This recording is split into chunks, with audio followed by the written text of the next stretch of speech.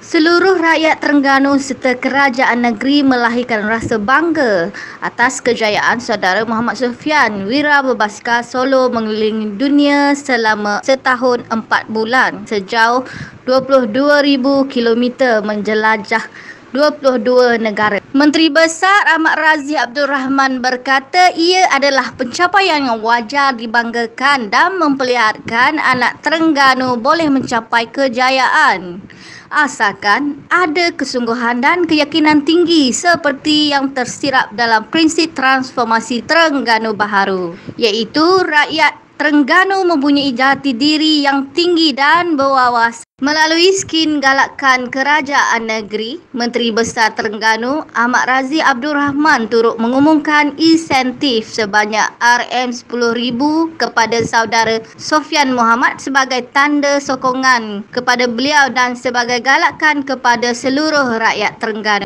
Dan sebagai tanda sokongan dan tanda sebab kita ada satu skim di bawah kerajaan negeri ini kepada mana-mana yang mencipta uh, kehebatan ini maka hari ini saya nak umumkan lah untuk kerajaan negeri memberikan satu insentif sebagai galakan lah uh, galakan terutama kepada yang lain maka kerajaan negeri setujulah untuk memberikan uh, sumbangan sebanyak RM10,000 kepada saudara atas kejayaan beliau menyelesaikan ekspedisi. Jadi saya saja tahniah kepada semua yang terlibat.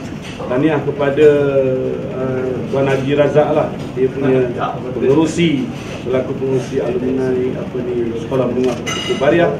Tahniah dan terima kasih kepada pengetua Sekolah Menengah Tutup Bariah yang telah support ni telah bagi satu sokongan yang padu dan terima kasih kepada semua pihak. Beliau berkata demikian selepas bertemu Sofian Muhammad di Wisma Darul Iman. Hadir sama Esko Belia Sukan dan Sumber Manusia Datuk Rozi Mamat, Setiausaha Kerajaan Negeri Datuk Wan Nawawi Wan Ismail dan Ibu Sofian iaitu Hasmah Muda.